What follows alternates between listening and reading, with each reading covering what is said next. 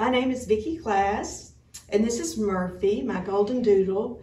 He's uh, eight months old, and we came to Bulletproof to um, try to get him changed from a wild and crazy dog to a laid back dog. And as you can see, I think it's, uh, it's worked.